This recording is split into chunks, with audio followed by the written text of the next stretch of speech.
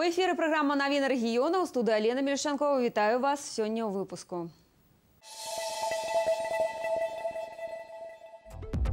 32 непаўналетнія Магілёва засталіся без папячэння бацькоў за першае паўгоддзе па рашэнні суда. Унутраныя ўступныя экзамены пачаліся ў вышэйшых навучальных установах. Плануюць першы апал, рыхтуюць печы і дровы. У Бабруйску праходзіць 15 міжнародны пленэр па кераміцы «Арт-Жыжаль». Две з паловай тысячы долараў для рэалізацыі мясцовай ініцыятывы. У Краснаполі ладзіцца кірмаш у рамках праекта майстэрні мясцовых экалагічных ініцыятыў для развіцця мікрарэгіёнаў. Нагадаем, ён фінансуецца праграмай малых грантаў глобальнага экалагічнага фонду. Сем паўднёва-ўсходніх раёнаў Магілёшыны абаранялі свае праекты. І толькі пяць ініцыятыў са Слаўгарадскага, Чэрыкаўскага, Касцюковіцкага і два з Краснапольскага раёнаў атрымалі стартавы капітал у дзве з паловай тысячы долараў для рэалізацыі сваіх ініцыятыў. На кірмаш за вопытам прыехалі таксама дэлегацыі з іншых раёнаў Магілёўскай вобласці і з Бранскай вобласці Расіі. 32 дзіцяці і падлеткі Магілёва засталіся без папячэння бацькоў за першае паўгоддзе 2017. -го. Гэта калі мамы, таты па рашэнні суда былі пазбаўлены бацькоўскіх правоў. Прычына адна дзяцей пакінулі ў сацыяльна небяспечным становішчы. Лёс яшчэ трох дзяцей вырашалі днямі ў ленінскім раёне Магілёва. На сумесным пасяджэнні каардынацыйнага савета па прафілактыцы сямейных праблем і камісіі па справах непаўналетніх. У гэтых бацькоў дачка школьніца зараз яна ў дзіцячым сацыяльным прытулку. У камісіі па справах непаўналетніх заўважаюць час разлукі не падштурхнуў дарослых да выпраўлення. Прагулы па працы бясконцыя п'яныя загулы. За пяць месяцаў бацька, да прыкладу, прыходзіў да дачкі толькі аднойчы. Завуд школы, у якой навучаецца дзяўчынка, першая робіць выснову. По работе с данной семьей положительной динамики не наблюдается. Родители не исполняют э, свои обязанности. Воспитанием девочки на данный момент находится, занимается бабушка. Заинтересованности в том, чтобы ребенок вернулся в семью? У родителей нет.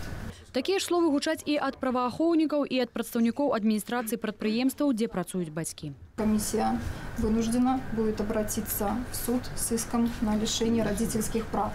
Абурае адсутнасць хоць якой-небудзь рэакцыі бацькоў пасля такога вердыкту. Ні маці, ні бацька не сказалі ні паўслова з просьбай не забіраць дзіця. Пасля неймаверных намаганняў усіх так званых суб'ектаў прафілактыцы не хапіла галоўнага жадання саміх бацькоў вярнуць дачку. Молодые люди, а вы вообще понимаете, вот в чем суть вопроса сегодня? Да.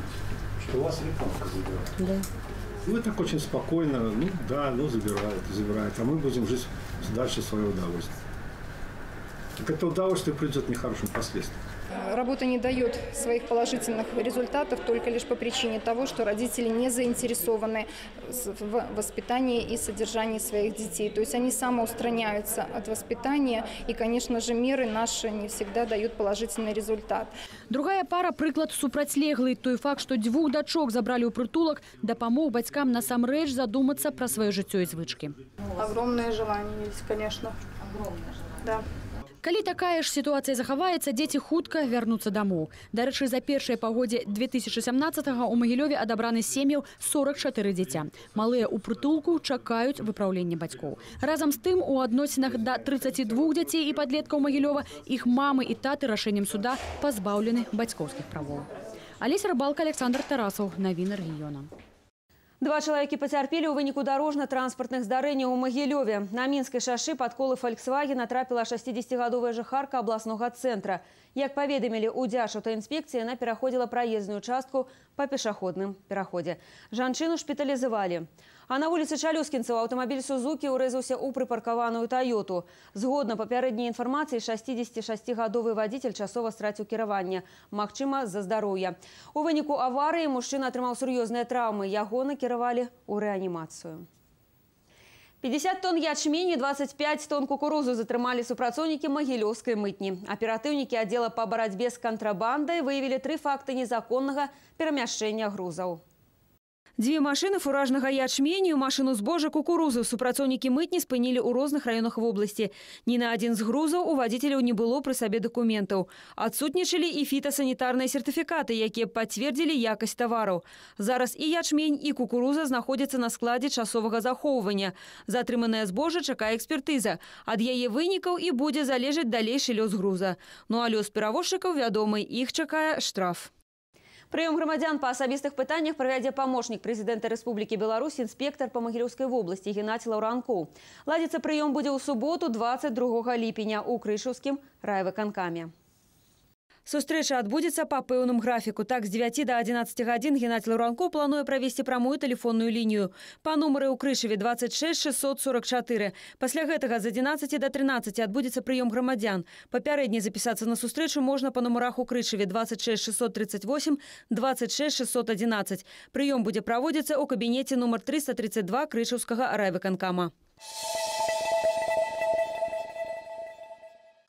У вышэйшых навучальных установах пачаліся ўнутраныя уступныя экзамены, а 17 ліпеня ВНУ завяршылі прыём дакументаў на бюджэтную форму навучання. Апошні дзень быў напружаным для тых абітурыентаў, хто падлічыў балы іншых, каб паспець падаць дакументы на тую спецыяльнасць, дзе ў яго больш шансаў для паступлення. У беларуска-расійскім універсітэце за гадзіну да закрыцця ўваходных дзвярэй абітурыентаў, якія здаюць дакументы немат. І ў асноўным тыя, хто прывёз дакументы з іншых ВНУ. Многія былі ў чаканні з падлікамі балаў дапамагаюць і бацькі. Если вы желаете именно на бюджетное место, тогда вам нужно смотреть вот на технический профиль с вашими баллами. Сначала хотел бы попробовать БНТУ, но там что-то не пошло по баллам. Все. А баллы какие? У меня? Секрет, не скажу. А то еще скажут немножко неумный. Выжидаю час, когда перебросит. Жду. Не с нетерпением. Интересно же, что будет. Ну, может, что-нибудь получше найдется, но мало ли, всякое же бывает. У прыёмнай камісіі кажуць, план па наборы дакументаў на бюджэтную форму навучання яны выканалі і перавыканалі. Конкурс небольшой, хотя на некоторые специальности, такие как автоматизированная система обработки информации, промышленное гражданское строительство, автосервис, он присутствует и не маленький. Те абитуриенты, которые вдруг не проходят на бюджет Республики Беларусь по всем вузам нашей республики еще имеют поступить в наш вуз, единственный вуз Республики Беларусь, который принимает до 26 июля на бюджет за счет нашей составляющей по Российской Федерации. Роўна ў 18 гадзін дзверы ВНУ на прыём дакументаў зачынілі. Некаторыя паспелі забегчы літаральна ў апошнія секунды. Хоць дзверы зачынілі, прыём дакументаў тых, хто знаходзіцца ва ўстанове, працягвалі. Дарэчы, сёлета прахадны бал на некаторыя спецыяльнасці ў вышэйшых навучальных установах павялічыўся. У прыёмных камісіях мяркуюць, што на гэта паўплывала магчымасць атрымання чацвёртага сертыфікату. Татьяна Сергейчык, Александр Тарасаў, навіны рэгіёна.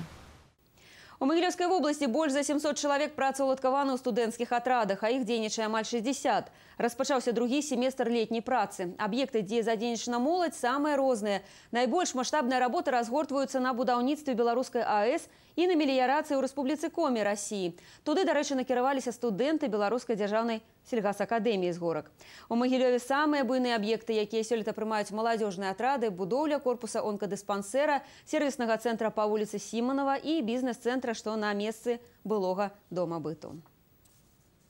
Уладзіслаў Маршын летась працаваў на рамонце моста праз Днепр у Магілёве. Зараз вось будаўніцтва бізнес-цэнтру. Не хоць сам не магілёўчанін, але лічыць за гонар працаваць на такіх аб'ектах. В любом случае уже будет, э, будет что рассказать другим людям, что, например, ты здесь был, здесь ты кирпич свой положил. Не першы раз у студатрадзе і Максім Лыскоўскі кажа, што яшчэ пару год таму сябры падказалі, што ў арганізацыі БРСМ дапамогуць уладкавацца ў будатрад.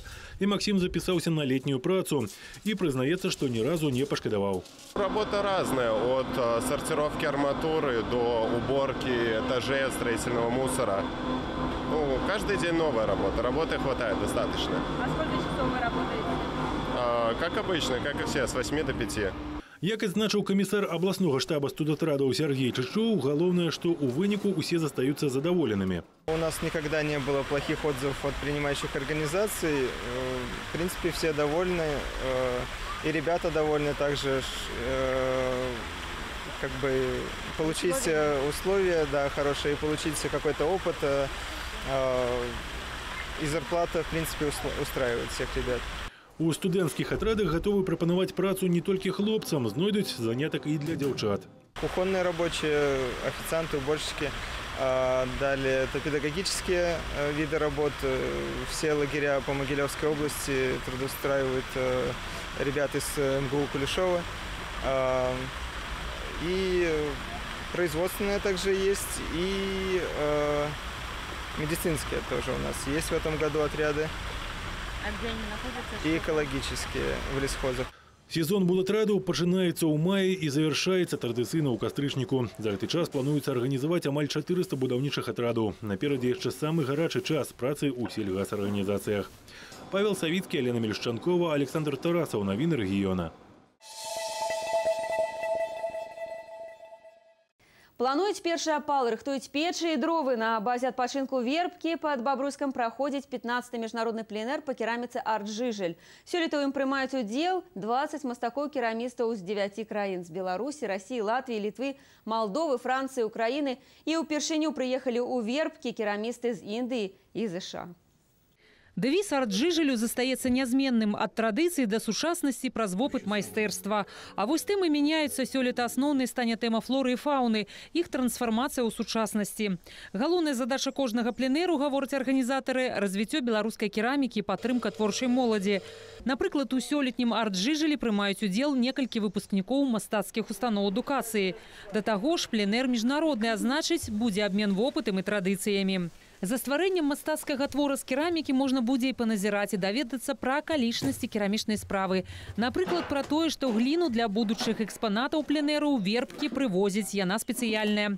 Прыкладны разлік 70 кілаграмаў на майстра. На 25 ліпеня запланаваны паказальны апал скульптуры. Завяршыцца свята керамікі адкрыццём выставы ў бабруйскім мастацкім музеі 2 жніўня. Пачуць Антарктыду і нават штаб-кватэру Арганізацыі Аб'яднаных Нацый. Для гэтага не патрэбен тэлефон, запэўніваюць радыёаматары. На беразе ракі Смародзіна ў Бялыніцкім раёне яны ладзілі турыстычны злёт, на які прыехалі дзесяткі сем'яў. Адпачывалі, спаборнічалі і, канешне, выходзілі ў эфір. Обратный отсчет. 5, 4, 3, 2, 1. Начали!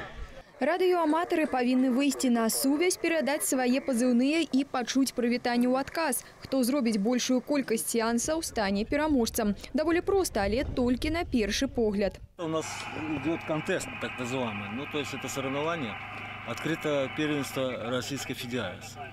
И мы в нем принимаем участие. Передаем э, контрольные номера, то есть э, как мы их слышим, как разбираем. И плюс контрольные номеры и ту зоны. Ну, это чисто технический Ну, параметр. сейчас вот вы кого слышите? Сейчас вот у нас россияне. А на конкретно? связи, на связи Пермь. Нават адсюль з турыстычнай базы пры адпаведных умовах надвор'я сігнал можа прайсці па свету некалькі тысяч кіламетраў. С большим интересом было повесить антенны, выйти в эфир, услышать Красноярск, там это самое, Польшу, там, ну и весь со всем миром и провести связь. Это было очень интересно, захватывающе. Большасць радыёаматараў Беларусі зацікавіліся гэтай справай яшчэ з савецкіх часоў. Кажуць, гэта захапленне на ўсё жыццё, а турыстычны злёт дае магчымасць сустрэцца па-за эфірам і за пазыўнымі, убачыць рэальных людзей. Крысціна Кранкевіч, Андрей Шуляк, Александр Артемьев, навіны рэгіёна. Статус нематэрыяльнай культурнай спадчыны Беларусі атрымалі саламяныя павукі з быхава. Тэхналогію такога пляцення быхаўскія майстры пачалі адраджаць амаль чвэрць стагоддзя таму. Цяпер тут сабрана самая вялікая калекцыя абярэгаў. Падчас свята Александрыя збірае сяброў на конкурсе красу вянок Александрыйскі майстрыца і дырэктар дзіцячай школы мастацтваў Ірына Кухціна прэзентавала унікальны вянок, галоўным элементам якога стаў саламяны павук. Гэты абярэг, гаворыць яна, не проста ўпрыгажэнне жылля, у ім асаблівая энергетыка. Соломенный паук обера- считается берегом дома, семьи. Вот, он делается э, к Рождеству всегда, вот, колядом. И это самое, в течение года он как бы собирает всю отрицательную энергию в доме и к Новому году сжигается и вешается новый паук. Но, конечно, сейчас соломенные пауки у нас такие более сложные формы, мы как бы не сжигаем, они такой несут декоративную направленность в работе в нашей. Наши новины доступны и на сайте tvr.могилев.бай. А я з вами развітваюся і жадаю толькі прыемных навінаў.